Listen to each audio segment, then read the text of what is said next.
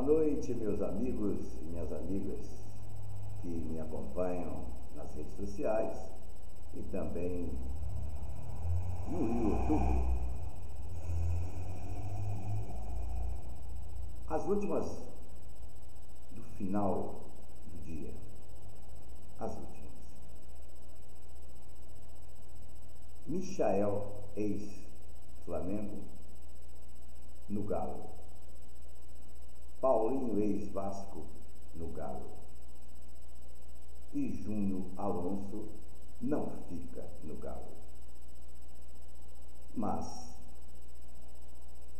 esta próxima notícia vai tirar o seu sono.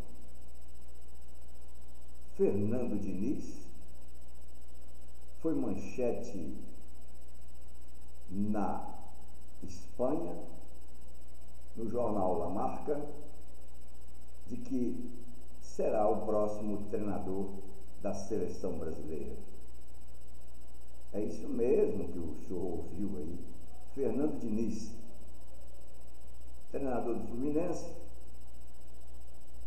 que foi dispensado por vários clubes.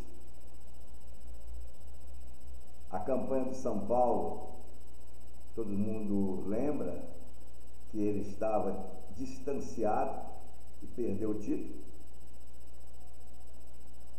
Perdeu o título, não deixou de ganhar o título. Né? E nunca ganhou nada.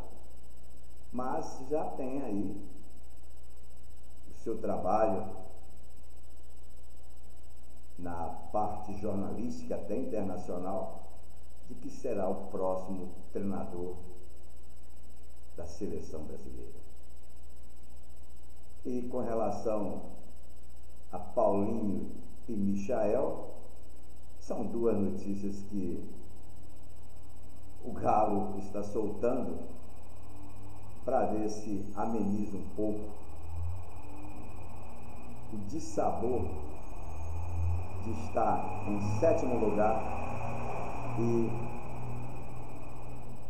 com muita dificuldade para conseguir até a Sul-Americana. São jogadas do futebol. São essas notícias rapidinhas que eu estou lhes trazendo.